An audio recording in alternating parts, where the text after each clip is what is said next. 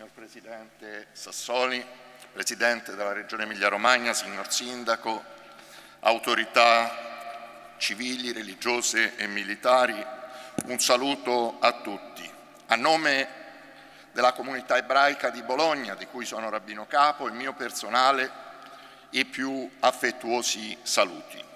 Lasciatemi anche a me ringraziare il professor Alberto Melloni per la sua grande volontà per come ha voluto organizzare questo incontro in questa meravigliosa città, una città dove che gli ebrei antichi hanno voluto vedere nel suo nome un accenno a quella che è l'identità di essa, Bo Lan Ya. Qui abita Dio, Bologna. E è per questo che la comunità ebraica è grata e riconoscente per tutti quelli che sono i lavori di dialogo, di incontri interreligiosi. Ma dialogo non significa accettazione cieca dell'altro, significa conoscenza, significa studio, significa discussione leale e onesta, anche delle diversità. Il dialogo non si combatte, il dialogo è qualcosa che ci si arriva gradualmente. Si è parlato di guarigione, per guarire bisogna curarsi, il dialogo è la cura alla guarigione. Si racconta nella Mishnah, la legge orale, che la tenda di Abramo era aperta ai quattro lati per poter dare maggiore ospitalità a tutti i viandanti che avessero che avuto la necessità di soffermarsi per rifocillarsi dalla strada senza mai indugiare ad entrare in essa. Beruchim Abbaim, benvenuti a tutti voi nel nome dell'unico Dio, lo stesso Dio di Abramo che ha avuto il merito di essere definito da Dio stesso Av Ammon Goim, padre di una moltitudine di nazioni. Gli ebrei vivono a Bologna fin dai primi secoli dell'era volgare durante i quali hanno fortemente voluto fondare e intrecciare le loro radici nel tessuto cittadino. Senza nessuna remora possiamo affermare che la religione ebraica ed i suoi appartenenti siano i più vecchi abitanti della città, così come gli ebrei italiani sono considerati gli italiani più vecchi d'Italia.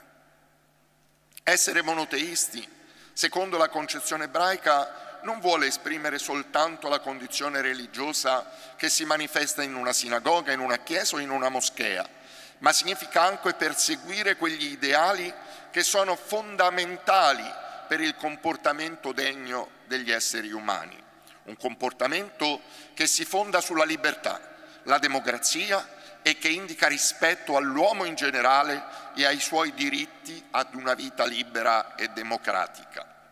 Nella sua storia plurimillenaria il popolo ebraico, pur avendo origini dalla terra di Israele, attraverso continue diaspore e persecuzioni, ha sempre cercato di integrare la propria vita e le proprie tradizioni a quelle delle nazioni nelle quali è stato costretto a dimorare, cercando di adoperarsi in ogni modo per il bene di esse. L'inizio della storia del nostro popolo in Italia è datato all'incirca attorno al 200 avanti l'era volgare, quando i primi ebrei provenienti da Gerusalemme, prima ancora della distruzione del Tempio, si impiantarono a Roma, dove fondarono una comunità che mai più hanno abbandonato. Essi hanno sempre dato dimostrazione di un affetto particolare e nutrito per questo Paese, partecipando in ogni modo alle varie lotte per la difesa dei diritti dei suoi cittadini e per l'ottenimento della libertà. Durante la loro permanenza fino al 1555, anno fatitico dell'istituzione dei ghetti, parteciparono alla vita sociale della nostra città, Bologna, anche e soprattutto dal punto di vista culturale e accademico, dove si è assistito, fra le varie cose, all'attività in seno all'università più antica d'Europa. Per ricordarne uno fra i tanti, Servadio Ovadia Sforno, vissuto a Bologna agli inizi del Cinquecento esegeta biblico conosciuto e studiato ancora oggi nelle più grandi accademie rabbiniche di tutto il mondo, ma conosciuto anche per la sua professione di medico e per questo chiamato in ambito universitario Abir Arofeim, il principe dei medici. Gli ebrei, come è noto, hanno subito numerose e terribili persecuzioni, ma hanno anche tratto da queste l'insegnamento per superare quei dolorosi momenti dedicandosi con il loro nobile comportamento ad essere da esempio per tutti gli altri.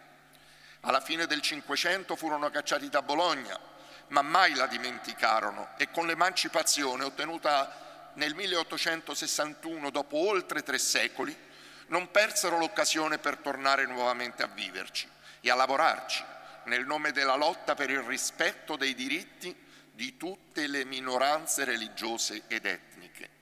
Numerosi professori ebrei ed allievi pullulavano l'università cittadina, fin tanto che le famigerate leggi razziali vennero promulgate e da distanza di secoli furono nuovamente discriminati fino ad essere cacciati dai loro posti di, lavoro. Infine, con la Shoah vennero deportati nei campi di sterminio nazisti, da dove un terzo della popolazione ebraica di questa città non fece mai più ritorno.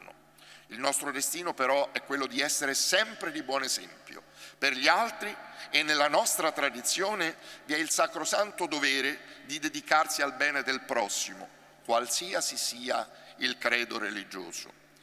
Abbiamo da tre giorni trascorso la solennità religiosa del Rosh Hashanah, il capodanno ebraico.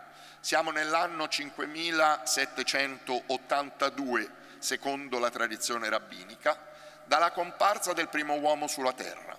E questa una solennità in insieme a quella prossima dello Yom Kippur che inizierà mercoledì sera e sarà tutto giovedì, il giorno dell'espiazione, ad avere un valore non prettamente ebraico, bensì universale. Si celebra infatti l'alto valore dell'essere umano in seno alla creazione del mondo. Nelle nostre sinagoghe si prega l'Eterno per la pace, il benessere, la salute e la vita di ogni essere, non solo degli esseri, degli ebrei, non solo degli esseri umani, ma di tutti gli esseri che vivono su questo mondo. Nella nostra storia abbiamo sempre incoraggiato ed esortato al perseguimento del benessere e alla vita buona per ognuno, combattendo sempre per la libertà, la difesa dei diritti civili e per la possibilità di esprimere le proprie tradizioni. Questo è stato ed è ciò che gli ebrei in Italia e in ogni parte della diaspora, dove vivono ormai da millenni, hanno voluto trasmettere alla società che li ha ospitati. Questo è ciò che tutti coloro che credono nei valori positivi dell'umanità ed hanno fiducia negli uomini hanno il compito di attuare. Fu chiesto ad un famoso maestro del Talmud quale fosse l'elemento fondamentale per essere ebrei ed egli con estrema semplicità rispose non fare agli altri ciò che non vorresti fosse fatto a te. Il resto è commento, va e studia.